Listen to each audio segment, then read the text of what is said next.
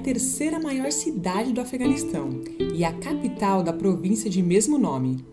Localizada no vale fértil do rio Hari, a poucos quilômetros da fronteira com o Irã e do Turcomenistão. Herat, com seus mais de 3 mil anos de uma rica história, é um importante centro comercial, industrial, cultural e religioso do Afeganistão. Herat foi conquistada, destruída e reconstruída várias vezes ao longo de sua existência. E hoje, com cerca de meio milhão de habitantes, é a maior e mais urbanizada cidade do oeste do Afeganistão.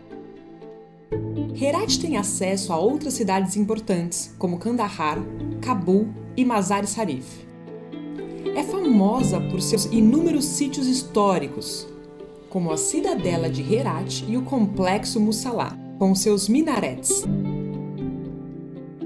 Atualmente é considerada mais segura que outras províncias do Afeganistão. Seus habitantes são conhecidos pela hospitalidade para com os estrangeiros e por serem mais religiosos que os moradores de Cabul.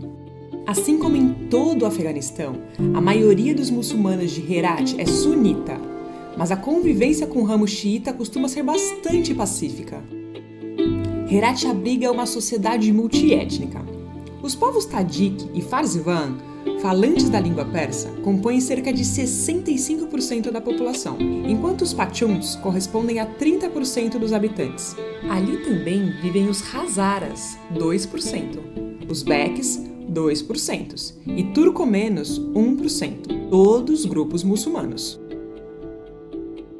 Deus Altíssimo, o Senhor é tremendo. O Senhor é o rei de toda a cidade de Herat.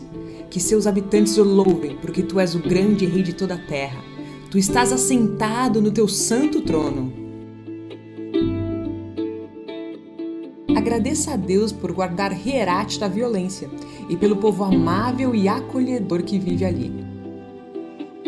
Peça a Deus para despertar servos fiéis que queiram morar entre os Herats para proclamar o testemunho de Jesus. Ore para que Deus se revele em sonhos e visões, preparando o coração dos Herates para receber a sua palavra. Peça a Deus que essa cidade, tão antiga e dominada por tantos impérios, possa enfim ser governada pelo Rei Jesus.